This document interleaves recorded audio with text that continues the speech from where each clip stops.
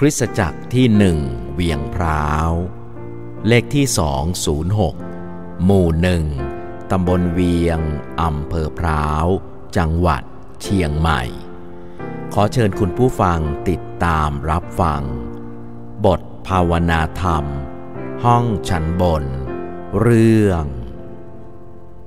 หลุดพ้นภาระผู้เขียนบทภาวนาธรรมห้องชั้นบนในตอนนี้ คือคุณไมเคิล เมเดรอส จากแคลิฟอร์เนีย และพระวจนะธรรมของพระเจ้าที่เราจะศึกษาร่วมกันนั้น มาจากพระธรรมมัทธิว บทที่ 11 ข้อ 6 ถึงข้อ 30 พระธรรมมัทธิว บทที่ 11 ข้อ 6 ถึงข้อ 30 มีเนื้อความดังต่อไปนี้ บุคคลผู้ใดไม่เห็นว่าเราเป็นอุปสรรค ผู้นั้นเป็นสุข ครั้นสิทธิ์เหล่านั้นไปแล้ว พระเยซูตรัสกับคนหมู่นั้นถึงยอนว่า ท่านทั้งหลายได้ออกไปในถิ่นธุรกันดารเพื่อดูอะไร มิใช่ดูต้นอ้อไหว โดยถูกลมพัดนะ ถ้าอย่างนั้นท่านทั้งหลายไปดูอะไร ดูคนนุ่งห่มผ้าเนื้ออ่อนนิ่มหรือ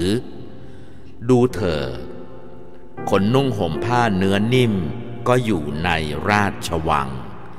แต่ท่านทั้งหลายออกไปดูอะไร ดูผู้เผยพระวจนะหรือ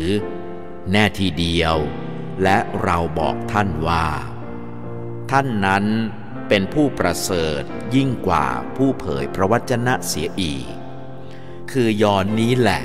ที่พระคัมภีร์กล่าวถึงว่า เราใช้ทูตของเราไปข้างหน้าท่าน คือพระเมสสิยา ผู้นั้นจะเตรียมมันคาของท่านไว้ข้างหน้าท่าน เราบอกความจริงแก่ท่านทั้งหลายว่า ในบรรดาคนซึ่งเกิดจากผู้หญิงมานั้น ไม่มีผู้ใดใหญ่กว่ายอนผู้ให้รับบัพติศมา แต่ว่า ผู้ที่ต่ำต้อยที่สุดในแผ่นดินสวรรค์ ก็ยังใหญ่กว่ายอนเสียอีก และตั้งแต่สมัยยอนผู้ให้รับบัพติศมาถึงทุกวันนี้ แผ่นดินสวรรค์ก็เป็นสิ่งที่คนได้แสวงหาด้วยใจร้อนรน และผู้ที่ใจร้อนรน ก็เป็นผู้ที่ชิงเอาได้ เพราะว่าคำของผู้เผยพระวจนะทั้งหลาย และธรรมบัญญัติ ได้พยากรณ์มาจนถึงย่อนนี้ ถ้าท่านทั้งหลายจะยอมรับให้เป็น ก็ย่อนนี้แหละ เป็นเอลียาซึ่งจะมานั้น ใครมีหูจงฟังเถิดเราจะเปรียบคนยุคนี้เหมือนกับอะไรดี เปรียบเหมือนเด็กนั่งที่กลางตลาด ร้องแก่เพื่อนว่า พวกฉันได้เป่าปีให้พวกเธอ และเธอมิได้เต้นรำพวกฉันได้พิลาบร่ำไห้ และพวกเธอมิได้ตีอกชกหัว ด้วยว่ายอนมา ก็ไม่ได้กินหรือดื่ม และเขาว่ามีผีเข้าสิงอยู่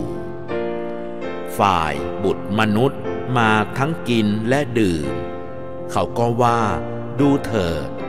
นี่เป็นคนกินเติบ และขี้เมา เป็นมิตรสหายกับคนเก็บภาษี และคนนอกรีดแต่พระปัญญาก็ปรากฏว่าชอบแล้ว โดยผลแห่งพระปัญญานั้น แล้วพระองค์ก็ทรงตั้งต้นติเตียนเมืองต่างๆ ที่พระองค์ได้ทรงกระทำการมหัศจรรย์เป็นส่วนมาก เพราะเขามิได้กลับใจเสียใหม่ วิบัติแก่เจ้า เมืองโคราซิน วิบัติแก่เจ้า เมืองเบ็ดไซอิดา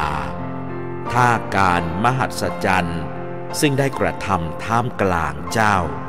ได้กระทำในเมืองไทระและเมืองไซดอน คนในเมืองทั้งสอง คงได้นุ่งห่มผ้ากระสอบ นั่งบนขี้เท่ากลับใจเสียใหม่นานมาแล้ว แต่เราบอกเจ้าว่า ในวันพิพากษา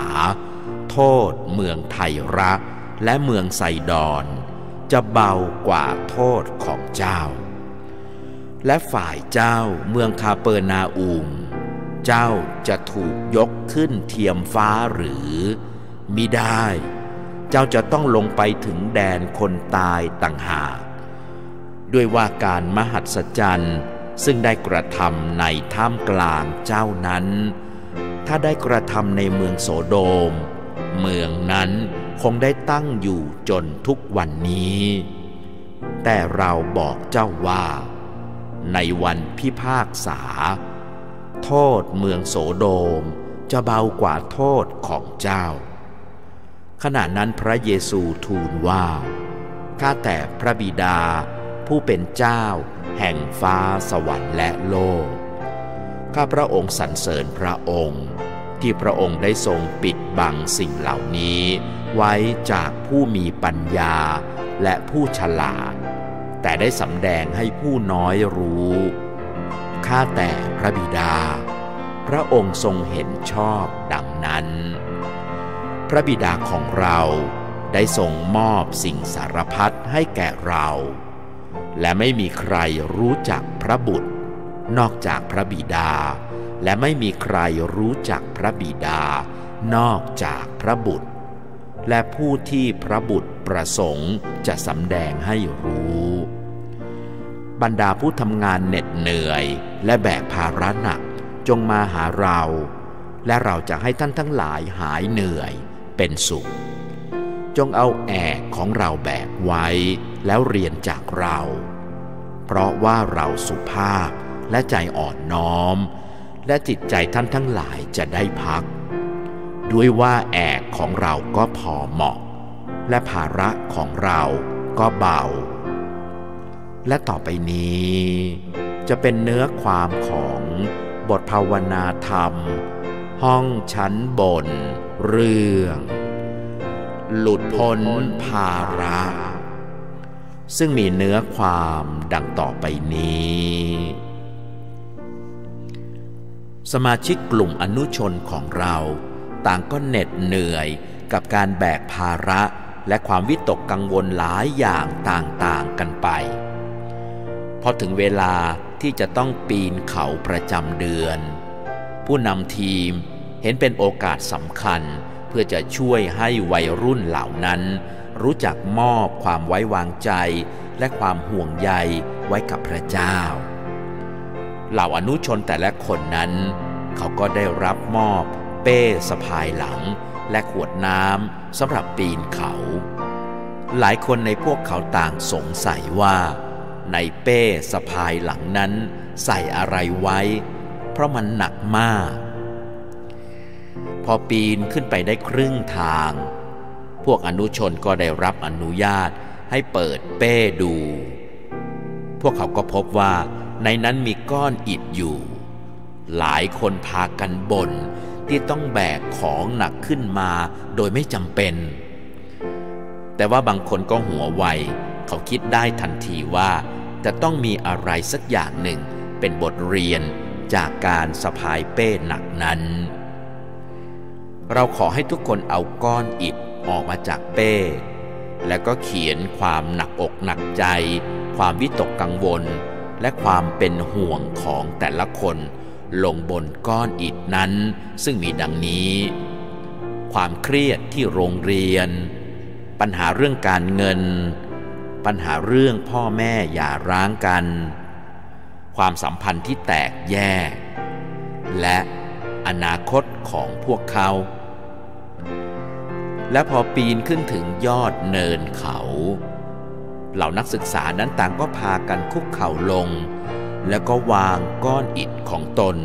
ไว้ที่ไม้กางเขนขนาดใหญ่ แล้วก็อธิษฐาน มอบภาระหนักของตนให้กับพระเจ้า เมื่อเสร็จแล้ว ทุกคนก็ยืนขึ้นรอบไม้กางเขน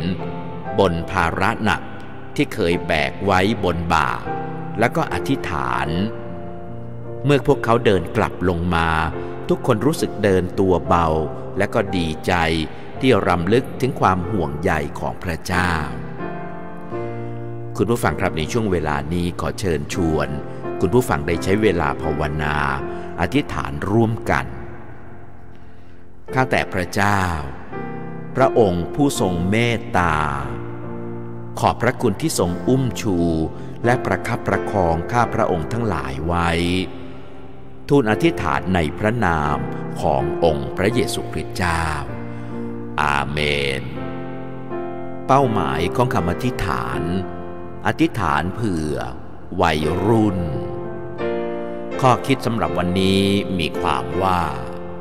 ข้าพเจ้าพ้นจากความวิตกกังวลใจ เมื่อได้วางภาระเหล่านั้น ไว้ที่กลางเขน ผ่านไปแล้วครับคุณผู้ฟังสำหรับเนื้อความของบทภาวนาธรรมห้องชั้นบน เรื่อง หลุดพ้นภาระและพระวจนะธรรมของพระเจ้า ที่เราได้อ่านผ่านไป จากพระธรรมมัทธิวบทที่ 11 ข้อ 6 ถึงข้อ 30 นะครับ คุณผู้ฟังครับผมจะขออ่านในพระธรรมของพระเจ้าอีกตอนหนึ่งครับ จากพระธรรมสดุดี บทที่ 55 ข้อ 22 มีความว่า จงมอบภาระของท่านไว้กับพระเจ้า และพระองค์จะทรงค้ำจุนท่าน พระองค์จะไม่ทรงยอมให้คนชอบธรรมคลอนแคลนเลย คุณผู้ฟังครับขอบคุณพระเจ้า พระสัญญาของพระเจ้ามีมากมายเหลือเกินใน พระวจนะของพระเจ้าที่บอกว่าให้เรารู้จักที่จะยึดมั่นและศรัทธาในพระองค์ และปล่อยวาง ปัญหาต่างๆ ความเครียด ความวิตกกังวล มอบให้กับพระเจ้า พระเจ้าจะทรงดูแลทุกสิ่งทุกอย่าง ทุกย่างก้าวของเรา แต่หลายครั้งเราก็ลืมนะครับว่าแท้ที่จริง พระคำของพระเจ้าได้เตือนเราอยู่เสมอ ว่าเมื่อใดก็ตามที่เรามีปัญหา ให้เรามอบปัญหานั้น ภาระหนักในใจนั้นให้กับพระเจ้า พระเจ้าจะเป็นผู้ที่จัดการปัญหาเหล่านั้น และทำให้เราพ้นจากความวิตกกังวล พ้นจากความวุ่นวาย พ้นจากความหวาดกลัวทั้งสิ้น แล้วก็ก้าวเดินชีวิตไป โดยพึ่งพิงในพระเจ้า ผู้ฟังครับ ขอให้พระคำของพระเจ้าในวันนี้ และคำพยานชีวิตที่ผู้นำอนุชนในคริสตจักรนั้น ได้ใช้บทเรียนในการปีนเขา ให้เด็กๆสะพายเป้ที่ใส่เต็มไปด้วยก้อนอิฐ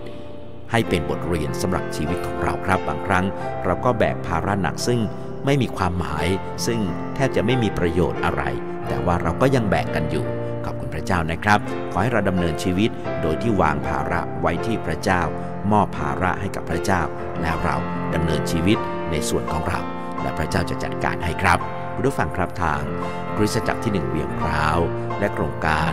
หอพักเด็กนักเรียนบ้านพระคุณอุปถัมภ์ขอขอบคุณพระเจ้า และขอพระเจ้าได้ทรงอวยพระพรนะครับ มีคุณผู้ฟังหลาย ๆ ท่านได้กรุณา ถวายทรัพย์เข้ามา โอนเงินเข้าสู่บัญชีของโครงการ เพื่อที่จะสนับสนุนพันธกิจนี้นะครับขอพระเจ้า อวยพระพรในความมีน้ำใจ ความตั้งใจและการเสียสละของทุกๆทท่าน ขอพระเจ้าอุดรูรั่วในชีวิตของท่านทุกๆด้าน และประทานบำเหน็จพระพรให้กับคุณผู้ฟังตลอดไปครับเอาละครับมาถึงช่วงนี้ผมขอนำบทภาวนาธรรมห้องชั้นบนตอนนี้อำลาคุณผู้ฟังไปก่อนนะครับ ไว้กลับมาพบกันใหม่ในตอนต่อไป ขอพระเจ้าอวยพระพรทุกท่าน สวัสดีครับ